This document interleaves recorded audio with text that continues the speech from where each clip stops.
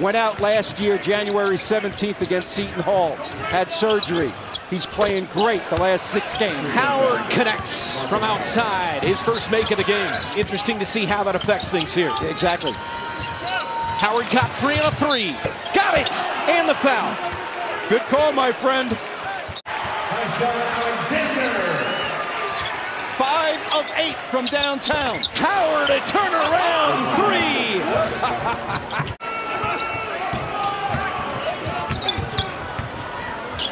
Howard.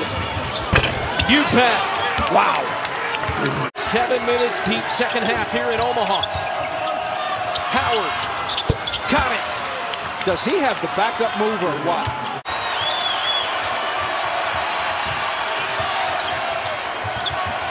Howard pulls it. You bet.